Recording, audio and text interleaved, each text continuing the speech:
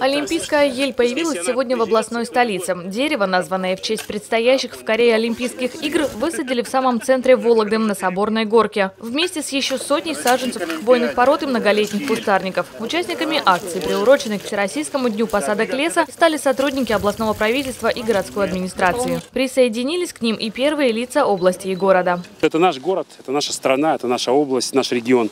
Это наши парки и скверы. И если мы сами не будем э, их благоустраивать, садить здесь деревья, наводить здесь порядок, выходить на субботники, то никто за нас этого не сделает. Высадка деревьев – это важно. Это, э, как мы говорим, легкие города.